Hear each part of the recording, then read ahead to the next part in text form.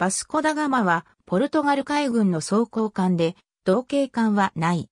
艦名はポルトガルの偉人バスコダガマにちなむ。収益時の本艦。本艦の武装、装甲配置を示した図。本艦の基本構造は木造で平甲板型船体に3本の搬送用マストと1本煙突を持つ装甲コルベットとしてイギリスで建造された。水面下に昇格を持つ艦首甲板上に全部マストが1本、船体中央部に 152mm から 254mm の装甲板をリベットで組み立てられたホーグルワを持ち、その中にクルップ社製 26cm 護送砲を単装砲画で2機を配置した。この砲は重量 270kg の砲弾を最大射程12100メートルまで届かせることができた。本艦の砲グルワは上型から見て横に長い八角形をしており、左右の斜め前と斜め後ろに砲門が開けられ、床面に設けられたレールで砲画を移動させることにより、前後左右に最大2門を向けることができた。砲角部の上部には、副砲の 15cm 後装填式砲が棒立てのついた単装砲画で一機と操舵環境があり、その後ろに一本煙突とチューブマストが立ち、原則部に金江9ポンド 6.5cm 後装填式砲が単装砲画で片弦2機ずつ計4機が配置され、後部甲板上に後部マストが立てられた。後部甲板の完備側は艦長室が設けられ、水面下には2軸の推進軸についた4枚岩のスクリュープロペラに挟まれるように1枚舵が配置された。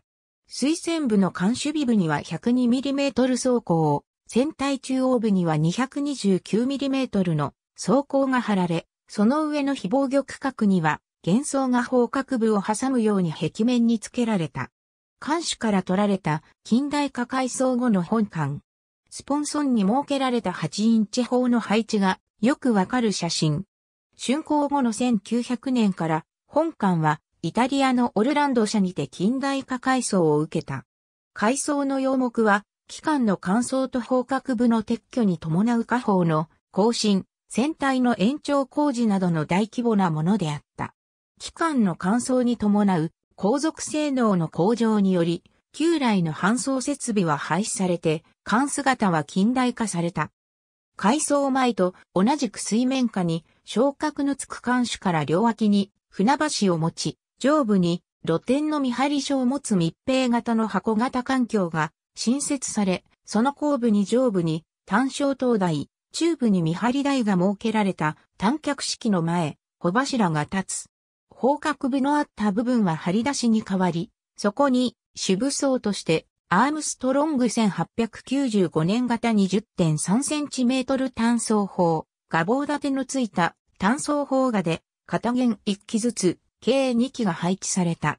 船体中央部の煙突の本数は1本から2本となり、周囲には大小様々なキセル型の通風塔が建てられた。側面から取られた近代化改装後の本館。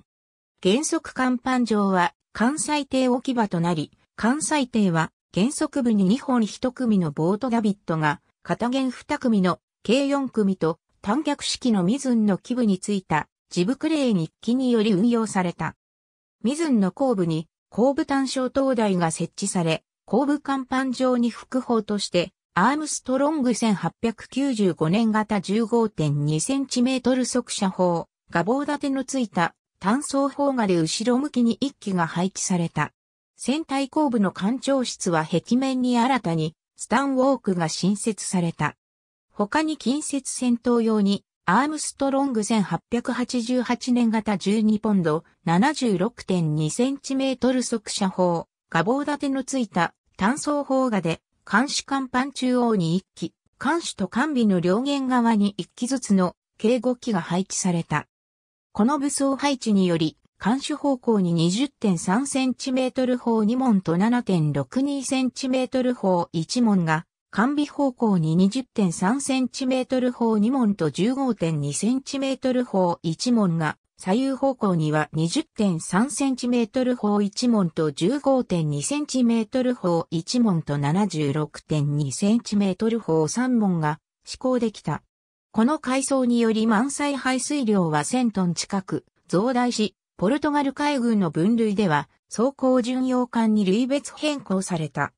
本艦の主要任務はリスボンの海上防衛であったが、遠くマカオへの植民地警備任務にもついた。第一次世界大戦中は連合国側に属し、フランス及びアフリカへ軍隊を輸送する戦団の護衛任務に就いた。1935年に除籍された。イギリスのテムズ鉄鋼造船所で1875年に寄港。1876年12月に浸水し、1878年に竣工した。1897年6月26日、バスコダガマはスピットヘッドで開催されたビクトリア女王のダイヤモンドジュビリーを祝う観艦式に参加した。1901年からリボルノのオルランド造船所で大規模な改装を実施。1903年に完了した。1907年8月27日、艦上でガス爆発が起き、負傷者が出た。1913年4月の正常不安の際、クーデター計画に関与しているとして、バスコダガマ上院の一部が排除された。1915年5月14日には、バスコダガマでは反乱した上院が艦長を殺害して、リスボンを砲撃し、それにより、約100人が死亡した。予算不足で大艦が確保できなかったことから、バスコダガマは少なくとも1914年までは、ポルトガル海軍の機関であった。その後も1935年までは艦隊にとどまり、それから売却され解体された。ありがとうございます。